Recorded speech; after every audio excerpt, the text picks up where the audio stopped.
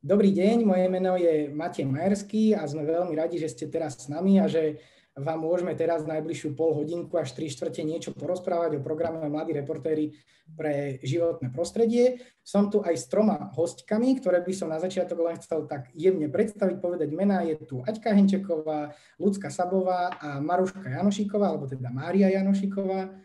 Ahojte, dievčatá, môžete aspoň zakývať zatiaľ. Ahoj Matej, ahojte všetci. Ahoj. Ahoj, ahoj, ahoj. K programu Mladí reportéri pre životné prostredie by som chcel na začiatok povedať, že je to program, ktorý na Slovensku zastrešuje Centrum environmentálnych aktivít v Trenčíne. A je to program určený pre základné, stredné a vysoké školy, ktorý sa snaží naučiť takým trom základným smerom. Tie smery sú environmentálna problematika, alebo teda téma environmentalistiky, žurnalistické zručnosti, ale aj aktivizmus, teda to, čo dokážu naši mladí reportéri vlastne vďaka, vďaka svojim reportážam uh, dosiahnuť. Aby ste mali možno nejakú takú lepšiu predstavu o tom, čo robíme, tak by som vám veľmi rád pustil video. Nebudeme si teda púšťať iba jedno video, ale bude ich, bude ich viacej. Ahoj, ja som Eva. Ahoj, ja som Ema a sme členkami programu Mladí reportéri pre životné prostredie. Rozhodli sme sa, že vám ho priblížime v tomto videu. Už sa nachádzame v teréne v Slovenskom raji a teraz vám ukážeme, ako tu pracujeme. Mladí reportéri skúmali problémy Národného parku, ako sú napríklad odpadky a vplyv turizmu na chránené prostredie. Pre reportéra je najpodstatnejší výber témy a spôsob, akým ju prerozprávať divákovi. V tomto programe poznáme tri druhy reportáže. Fotka, článok, video. Za nami práve natáčajú video reportáž o odpadoch, ale nebudeme ich rušiť, lebo majú veľa práce, tak ideme za článkármi. Čaute, babi. O čom píšete článok a aké máte z toho dojmy? Tak my píšeme článok o návštevnosti v slovenskom raji a teda dúfam, že sa nám to vydarí. Nemáme toho pri- tak veľa, ale dúfam, že to aspoň niečo z toho bude. Čo bude teraz ďalej? O 3 hodiny to máme odovzdať, takže dopisujeme článok a dúfam, že to stihneme. Chalani tu práve v improvizovaných podmienkach nahrávajú zvuk. A po ťažkej práci si reportéri zaslúžia aj odmenu. Chutiti? Ty čo robíš? Čo ma natáčaš? Po zozbieraní všetkých materiálov sa video musí postrihať. A hoci je to náročná činnosť, práve vďaka nej vzniká video. No a čo už s hotovou reportážou? Stačí už len jediná vec a to zdieľať ju, aby ju videlo čo najviac ľudí. Ak vás náš program zaujal a chceli by ste sa do neho zapojiť, tak sa nám určite ozvite prostredníctvom e-mailu alebo našej facebookovej stránky a čaute. Ahojte. Dobre teda, tak uh, toto bolo video z workshopu takého väčšieho terénneho, ktoré konáme ktoré teda sú skoro každý rok v júni, ale preto som sa zasekol, lebo tento rok sme ho kvôli situácii uh, logicky nemali. Bolo to v Smižanoch a stavím sa, že tam bola aj naša Maruška. Uh, Maruška, bola si tam vtedy? Áno, áno, ja som bola asi na každých tých workshopoch, kedy, odkedy som zapojená do programu. Super, super. Nie je teda vôbec náhoda, že sa ideme práve rozprávať, alebo idem sa práve rozprávať s Maruškou.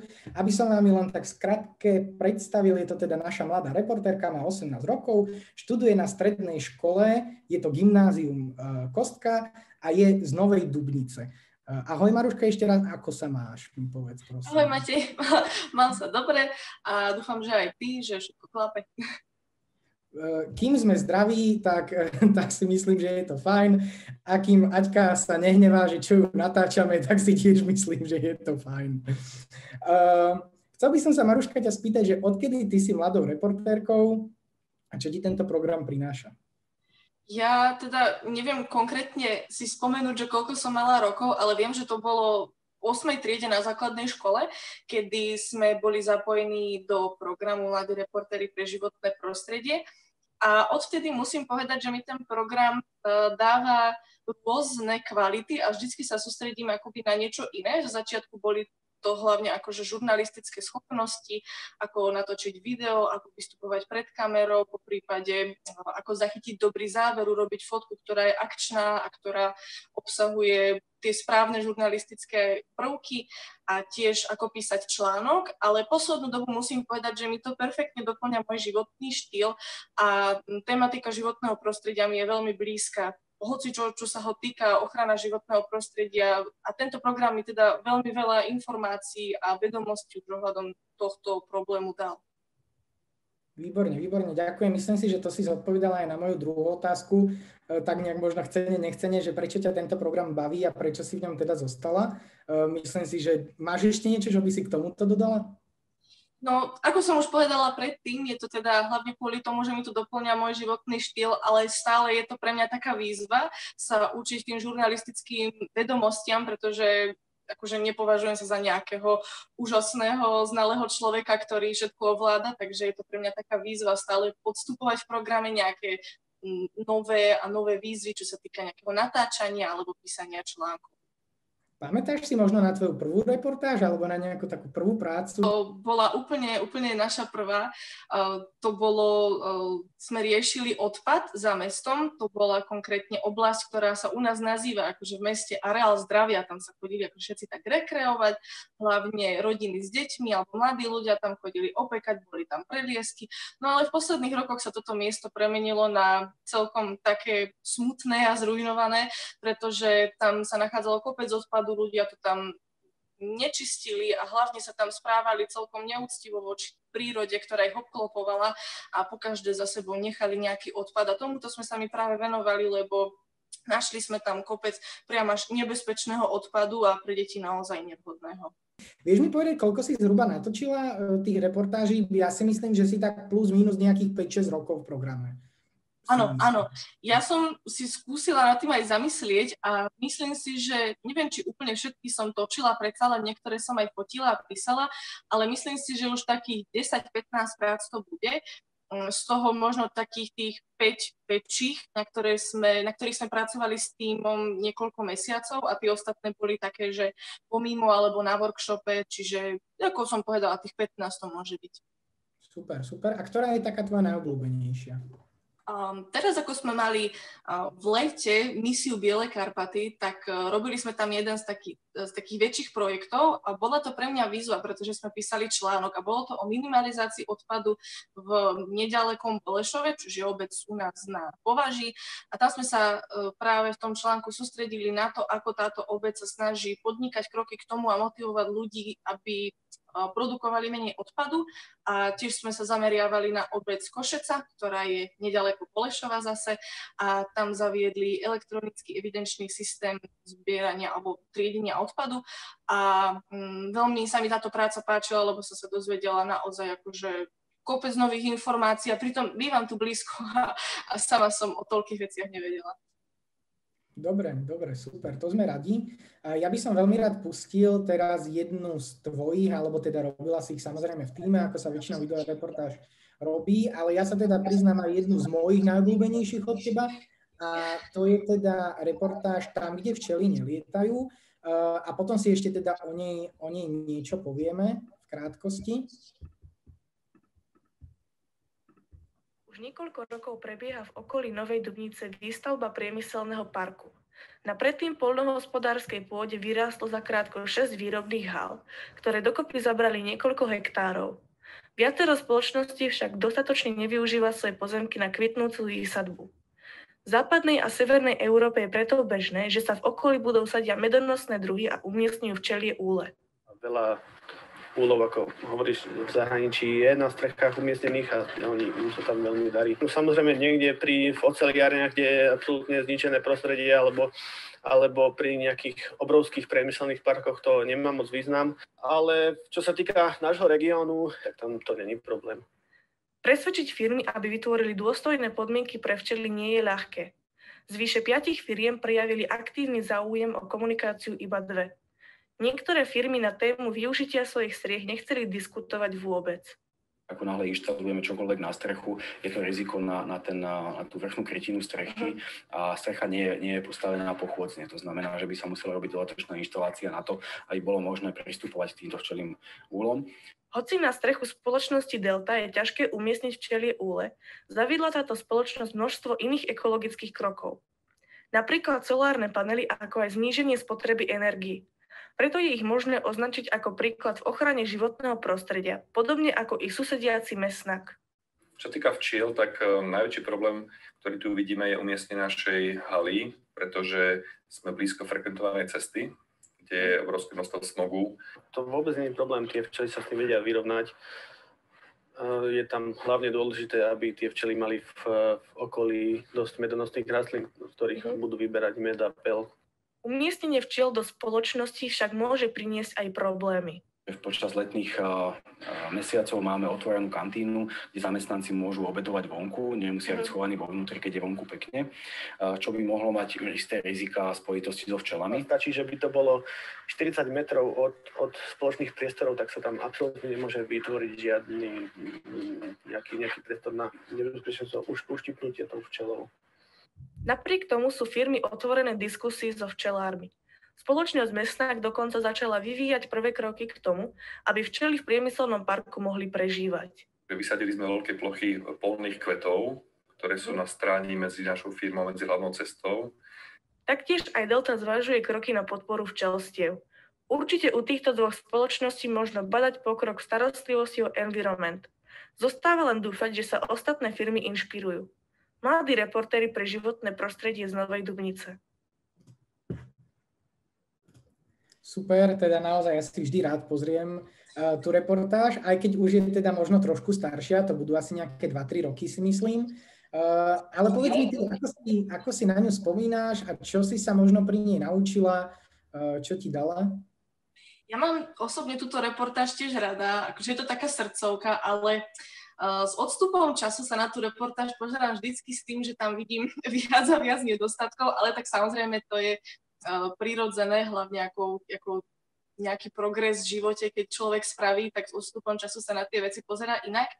Ale myslím si, že toto bolo jedno z tých období, kedy som sa naučila robiť v mladých reportéroch tieto reportáže akože tak to bolo také obdobie, kedy sa ku mne dostalo najviac informácií a keď sme to mohli priamo v praxi previesť, že sme išli a urobili tie rozhovory a naozaj sme si písali všetko, strihali sme to, točili sme to, tak to bolo fakt také, také obdobie, kedy som tak mala zhustené všetky tieto uh, žurnalistické vedomosti. A, a teda, čo som sa pri tom naučila, no hlavne, čo sa týka takých tých určitých retorických schopností, voči ktorým aj teraz trošku výhrady, lebo však predsa len tedy som nosila strojček, tak som ešte trochu šušlala. Ale mimo to um, som veľmi rada, že som sa mohla naučiť komunikovať s firmami. To bolo snáď asi to najdôležitejšie a čo na tom ocenujem najviac, pretože vtedy sa tak vo mne prelomila tá bariéra také hamblivosti, kedy som si povedala, že OK, musím vystúpiť z komfortnej zóny a teraz fakt idem zavolať tej firme a nie len napísať e-mail, pretože e-maily, čo si budeme, nie vždy sú úplne účinná cesta, ako niekoho k niečomu tak popudiť. Čiže uh, hlavne to tak vo mne prelomilo tú odvahu a taký ten žurnalistický, takéto žurnalistické zapálenie. Super, super. Ešte moja posledná otázka, že či mala táto reportáž nejaký dopad, aj keď možno malý, ale že či mala. Tak lokálne určite. My sme v rámci ako našej reportáže a našej práce potom na konci spravili ešte taký malý deň u včelách, alebo ako to povedať, na námestí sme rozdávali ľuďom semienka a niečo sme im malo povedali o našej reportáži. To bolo takým symbolom, to rozdávanie semienok. A o, vtedy sa, akože ľudia, čo si brali tie semienka, tak sa potom ku nám dostali fotky, ako si to ľudia zasadili a o pár mesiacov im vyrástli krásne rastlinky, ktoré chodili opelovať. Nielen včely, ale aj rôzne iné hmyzy sa tam dostali, takže nakoniec celkom akože myslím si, že pekný výsledok, akože není to žiadna nejaká obrovská zásluha, ale aj malé kroky zlepšenia vedú k väčším a lepším, ako k lepšiemu svetu. Jednoznačne, jednoznačne. Dobre, Maruška, ja ti veľmi pekne ďakujem za tvoj čas, ale určite ešte ostaň tu s nami a pokiaľ by si chcela niečo doplniť, tak doplň. A ja by som sa teraz tiež takým malým krokom chcel presunúť k ďalšej hostke, ktorou je Aťka Henčeková. Ahoj Aťka ešte raz. Ahoj Matej, aj ahojte všetci, čo nás sledujete. ahoj, ahoj. Uh, mám zapísané k Aťke, že je to najstaršia mladá reportérka, ale v takom zmysle, že je najdlhšie zapojená v programe Uh, nepoviem koľko, to bude také prekvapenie a poviem iba toľko, že študuje na Univerzite Komenského a nepoviem ani fakultu, aj keď si možno už domyslíte, že kam sa teda dostaneme. Aťka, ako sa máš? Ešte mi povedz predtým, ako položím otázku a pustím video. Ja sa mám veľmi dobre, teším sa, že tuto môžem byť spolu s vami aspoň takouto online, for, online formou na tejto konferencii. My sme tiež radi. Počas prvej vlny korony sme ako mladí reportéri vymýšľali také výzvy, bolo ich dokopy myslím, že 10, volalo sa My všetci sme reportéri a myslím si, že v prvej výzve, alebo už neviem ako to bolo, možno aj k súťaži, už vzniklo také pekné promo video a rád by som ho, rád by som ho opäť pustil. Takže páči sa. V tomto videu sa nerozpráva, takže pokojne môžete keď tak niečo, niečo doplniť. Iba to, že je lepšie ako to, čo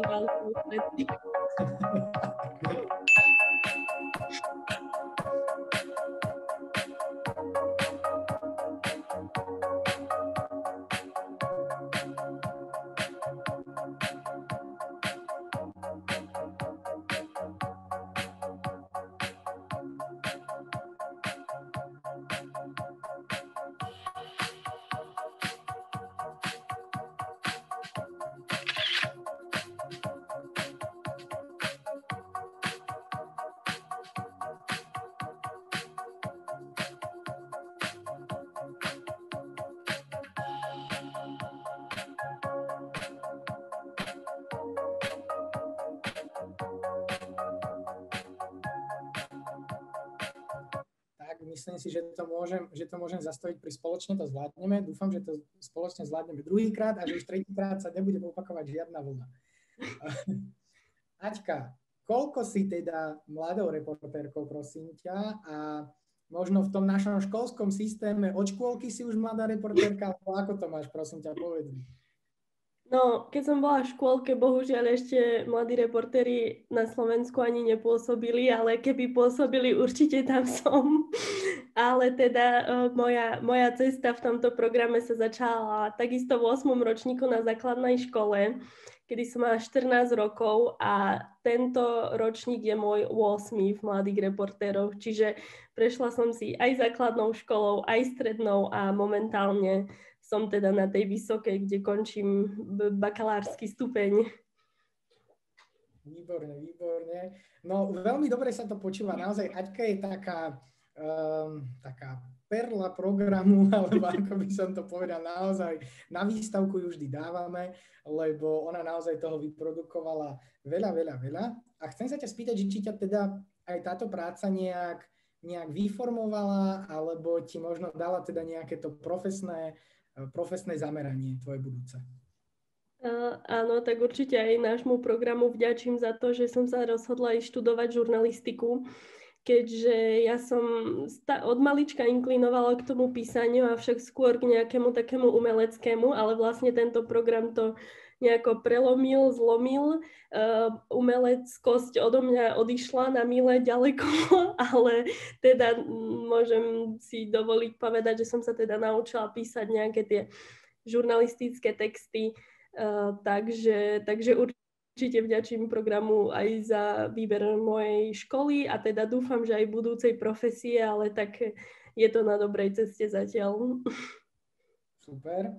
Uh, čo ťa na programe možno za tých 8 rokov teda nejak tak bavilo najviac a viem, že je určite toho veľa, ale ja to rovno tak akože trošku ponúknem. Viem, že si bola aj veľakrát v zahraničí vďaka programu, tak by si teda mohla povedať, o aké teda akcie sa jednalo a možno vypichnúť nejakú jednu, ktorá sa ti páčila najviac.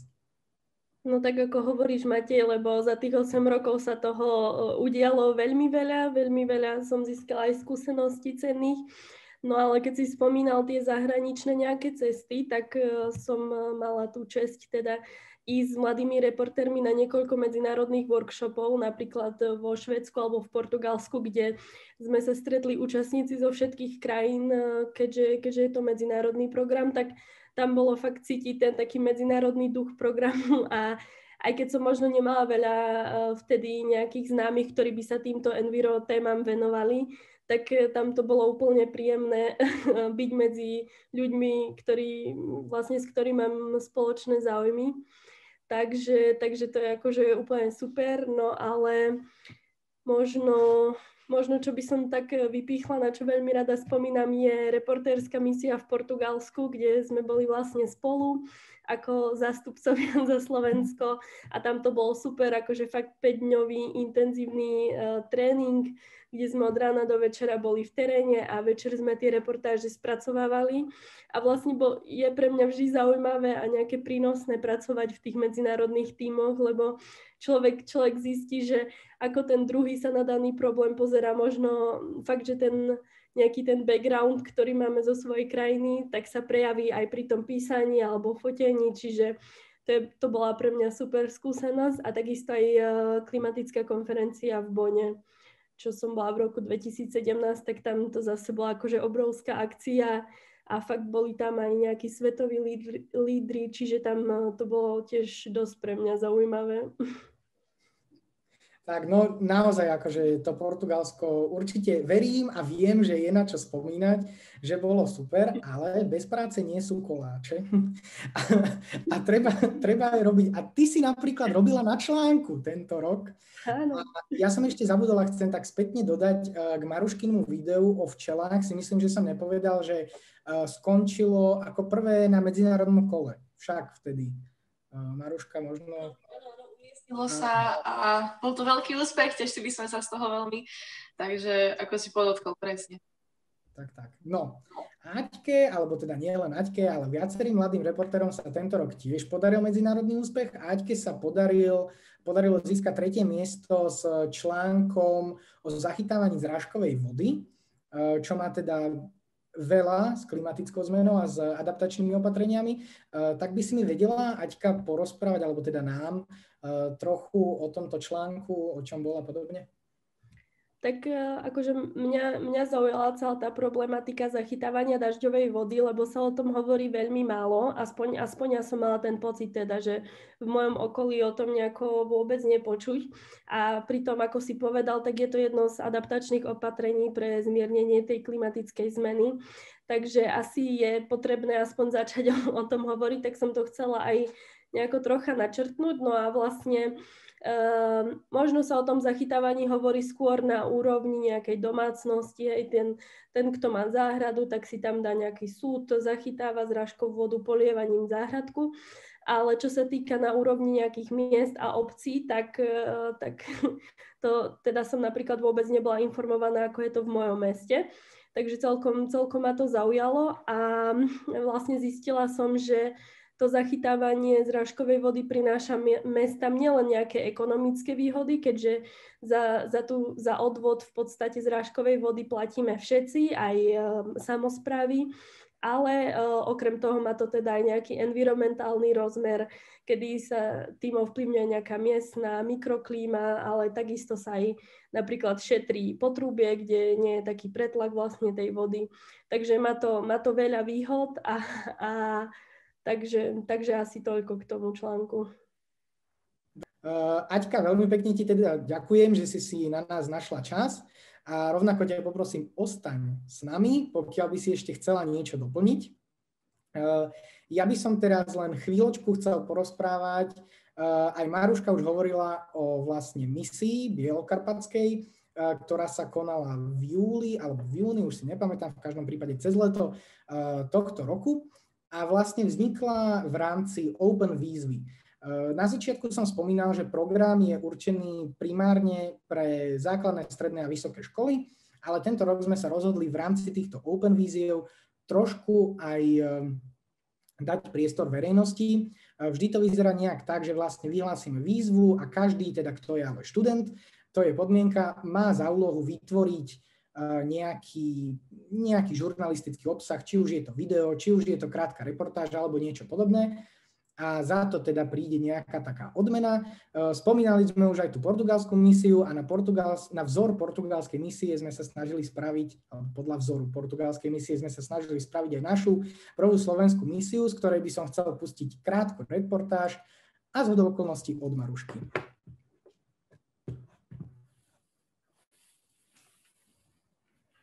Štebotajúce vtáčiky, krásna, no nepohrabaná lúka. Je najvyšší čas to zmeniť. Starostlivosť o miestne lúky pod Vršacom zabezpečuje správa chránenej krajinej oblasti Biele Karpaty. Príroda si určite poradí sama, ale keďže ide o prírodnú rezerváciu a tá chránené územie, je dôležité, aby sa tu postupovalo v súlade s programom starostlivosti.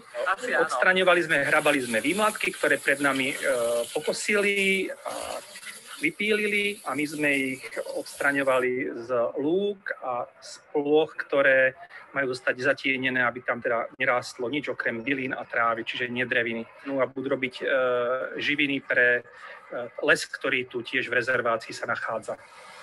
Pridáš sa aj ty a pomôžeš Bielým Karpatom?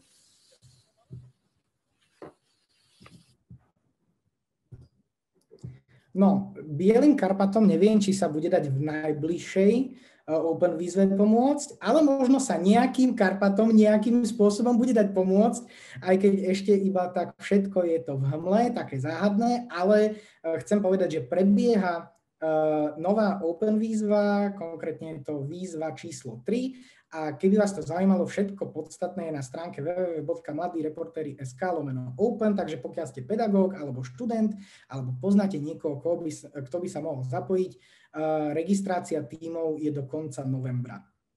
No a na tejto misii bola aj naša tretia hostka, uh, ktorá je teda Lucka Sapová. Ahoj, Lucka. Ahojte. Ahoj, ahoj. Ľudská je dlhoročná aktivistka v otázkach klimatickej zmeny, ktorú môžete napríklad poznať z Greenpeaceu, ale teraz skôr z iniciatívy Znepokojené matky, ale je aj našou dlhoročnou e, lektorkou a taktiež porodkyňou, porodkyňou e, v programe, teda akože v súťaži. A do tretice otázka na hostku, ako sa máš, ľudská dnes? Výborne, výborne, hlavne keď vás vidím. No, to je super. Hlavne, keď musíš takto vidieť tie baby, ktorým teda hodnotíš rok čo rok tie práce a teda verím, že sú rok, rok, rok čo rok lepšie a lepšie. Jednoznačne. Už som videla veľa Aťkyných kačičiek, ako sme to videu videli. Áno, áno. Aj tu som chcela ešte pripomenúť, aj Aťkin článok, aj všetky reportáže nájdete na www.mladíreportéry.sk. Takže tak. Ľudská, prejdem rovno k prvej otázke, nech to nenaťahujeme. Ako sa ti program páči, to si myslím, že aj môžeme vydedukovať, ale keby si mala o ňom niečo povedať niekomu, kto ho nepozná, ako by si ho predstavila, čo by si o ňom povedala? Mne sa program veľmi páči, asi aj preto som tam už, uh, ja už ani neviem vlastne, že koľko rokov, strašne dlho. A čo by som asi prvé povedala, že je veľmi inšpiratívny, lebo uh, ako prvé je to vnímané tak, že sa tí reportéri niečo naučia a vzdelávame mládež a pridávame im niečo viacej. Ale ja musím povedať, že e, v tom programe som tak dlho hlavne z takých trochu sebeckých a zištných dôvodov, pretože naopak mne dodáva obrovskú energiu ten program. A za každým, keď ja počujem o tom, že aká tá dnešná mládež, aká všelijaká je a čo, ako sa vieme posťažovať tí starší, že čo my sme boli v čom lepší, tak uh, ja mám vždy výborný príklad toho, že si nemyslím, že to tak úplne je, pretože vidím mladých ľudí od naozaj od tej základnej školy, aké úžasné veci vedia robiť. A hlavne na tých workshopoch je to vidieť, pretože ty si aj púšťal videá, ktoré sú, sú krátke, a sú pekne spravené a veľakrát my na tých workshopoch tlačíme tých reportérov do toho, že to, oni to robia pomerne rýchlo a v takom strese a naozaj na to, aký majú vek, dokážu nám priniesť neuveriteľné pekné práce na konci. A aj tá hlavná súťaž prináša naozaj často reportáže, ktoré sú z iného pohľadu, po, z takého pohľadu sviežejšieho a, a ja si myslím, že je to primárne inšpirujúce. A najmä to, čo už dievčatá hovorili, je to, že ja si veľmi cením všetky programy, ktoré dávajú možnosť e, všetkým možným mladým ľuďom sa zapojiť a niečo naučiť. nedávno prebiehala aj súťaž Open, ale teda číslo 2 volala sa Teplo, teplejšie horíš a teda prebiehala alebo týkala sa klimatickej zmeny. Mohla by si k nej nejak krátko niečo povedať?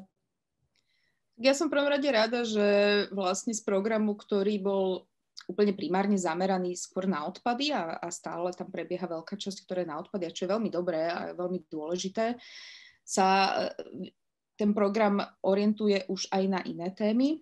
Myslím si, že je to dobré aj pre tých reportérov, že stále vlastne nehovoria o tom istom, o tej istej téme. A, a je to pre nich dobre kvôli tomu, že my už porodcovia, možno niektorý ten mladý reporter, ktorý tam bol proste jeden rok, prišiel s niečím, čo pre ňa bolo nové, my sme to už predtým videli 10 krát, tak chudák nemal šancu, aby s tým niečo vyhral. Ale ale je to aj hlavne dobré, pretože naozaj uh, tie problémy životného prostredia sú širšie. A práve tá klimatická zmena začína byť viacej viditeľná aj u nás, a čo sa týka toho, ako ju vníma verejnosť.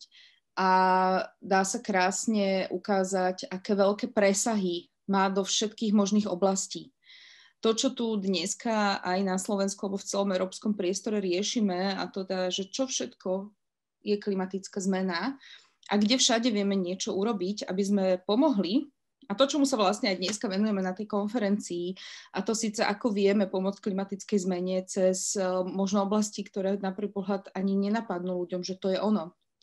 Že obnova budov, to je aj ochrana klímy, Uh, že možno iný prístup k polnohospodárstve, to je ochrana klímy, že, že sú to rôzne, rôzne veci, obrovské množstvo vecí, kde my vieme pomôcť tak ja som ráda, že vlastne v tom istom období uh, vznikla aj Open výzva, ktorá bola o tej klimatickej zmene a že tí mladí reportéri mali šancu ako keby sami rozmýšľať nad tým, že kde je ten problém, kde všade ho okolo seba vidíme a ako sa dá riešiť. Ako ho vieme riešiť aj na tej individuálnej úrovni, ale aj na nejakej takej systémovejšej úrovni. Čiže toto je podľa mňa veľmi prínosné, že sa to dostáva aj k mladým ľuďom. A možno je aj dobré, že práve v tomto čase tej korony uh, je to trošku zložitejšie, pretože normálne by tie reportáže sa tvorili rôznymi rozhovormi a rôznymi chodením kade tade, ale tu majú reportéri pomerne obmedzenú teraz spôsobnosť, že musia sa naozaj pozerať len v nejakom obmedzenom priestore, tam kam sa dostanú.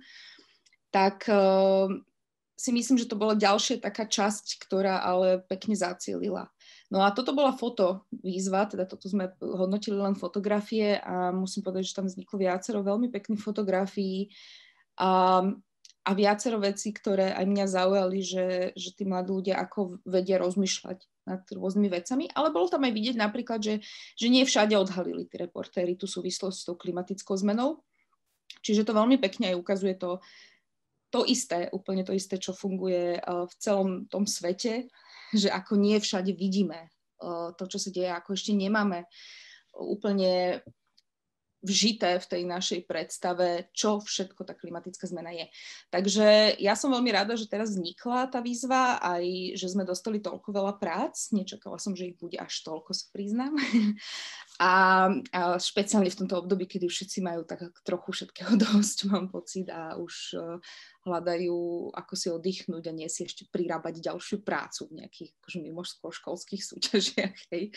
Tak, uh, tak toto bolo výborné a som rada, že, že aj k tým mladým ľuďom sa aj cez tento program dostáva táto téma, ktorá, s ktorou sa budú stretávať žiaľ stále častejšie.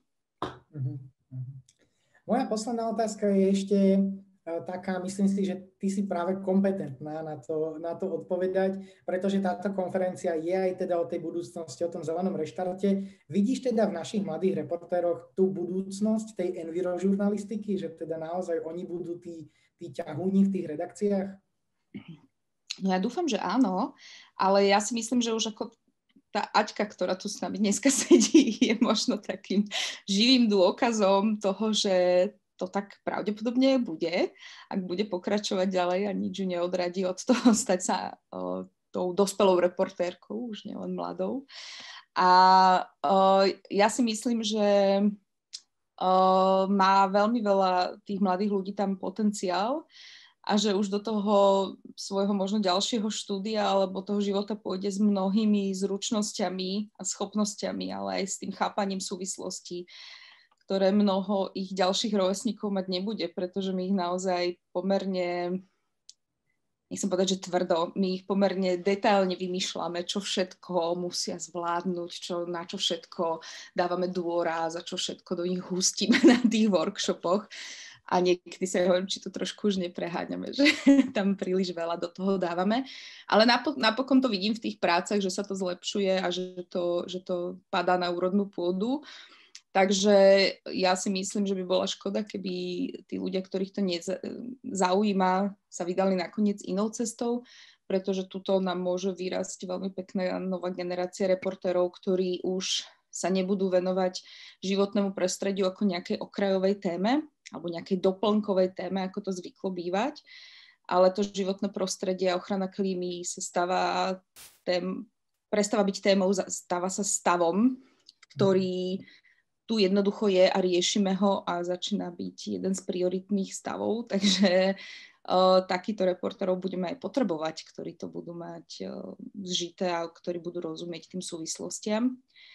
Tak uh, im držím palce, aby som možno jedného dňa s nimi už pracovala nejako v programe, ale že ich budem otravovať, že tuto posielam tlačovú správu o zelenom reštarte alebo o niečom podobnom.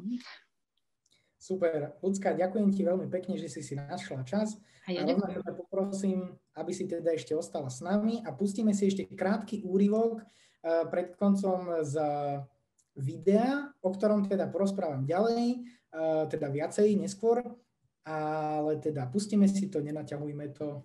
Sa dostali na náš stôl. Ukážem vám jeden príklad. Príklad cibule. Ja som minule našla v obchode cibulu, keď som si ju potrebovala kúpiť a chcela som ju len tak bez rozmyslu zobrať a naložiť do nákupného vozika a potom mi napadlo urobiť jednu vec, ktorú robím ja pomerne často, ale pri cibuli nie až tak často. Napriek tomu som to spravila, pozrela som sa na ten štítok, ktorý má na sebe a pozrela som sa, že odkiaľ tá cibula pochádza.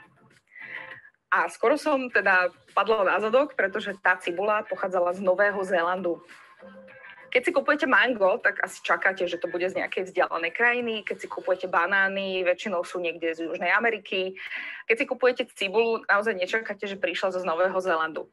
A myslím si, že to je taký pekný príklad nezmyselnosti toho, ako my ľudia vieme narábať s tým, čo nám táto planéta ponúka. Tá cibula musela byť vypestovaná niekde na Novom Zélande. Nevieme ako, možno bola veľmi veľa hnojená, možno uh, bola veľmi, bolo to nejaké intenzívne polnohospodárstvo, ktoré pomerne dosť poškodzuje životné prostredie. A následne musela byť dotransportovaná, dovezená až k nám na Slovensku, cez polovicu planety. To sú obrovské, obrovské zdroje emisí, ktoré sú zodpovedné za klimatickú zmenu. Ľudia sa pomerne často pýtajú, čo môžu oni No a to, čo sa ľudia pýtajú a čo môžete urobiť, sa dozviete, pokiaľ si potom pozriete uh, celé video, v ktorom teda, v ktorom teda ľudská účinkuje. Uh, čo ste to teda videli?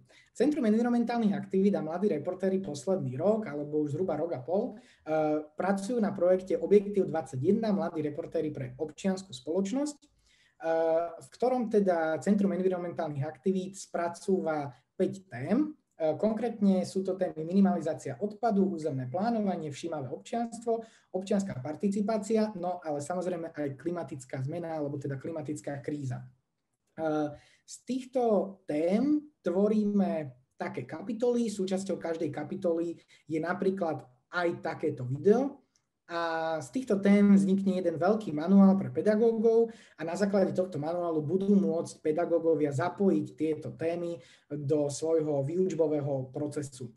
Celý tento manuál by mal byť hotový do konca roku a potom to verejnosti, teda potom verejnosti bude odprezentovaný v marci na konferencii primárne pre pedagógov, ale je prakticky otvorená pre všetkých, ktorí sa zaregistrujú. A táto konferencia bude teda spojená aj s takou výstavou fotiek ku 10. Eh, výročiu IRE. To by bolo asi za nás eh, všetko. Ďakujeme veľmi pekne za pozornosť. Želáme vám teda ešte pekný zvyšok konferencie. Je to teda Next Green Generation konferencia. My pevne veríme, že ako mladí reportéri sme tá budúca zelená generácia a že budeme mať miesto, kde budeme môcť pracovať. Ja ešte ďakujem našim hostkám Aťke Jenčekovej, Ľudske Sabovej a Maruške. Eh, vďaka, babi. Ďakujeme aj my. Ďakujeme aj my. Dobre, teda. A ešte len pripomínam naše sociálne siete, pokiaľ by ste teda mali záujem sa zapojiť. Eh, či už poznáte niekoho, kto by mohol byť mladý reportér, nech sa nám ozve, či už poznáte nejakého pedagóga, ktorý by mohol viesť mladých reportérov, tak mu dajte vedieť, alebo ak ste pedagóg, dajte nám vedieť.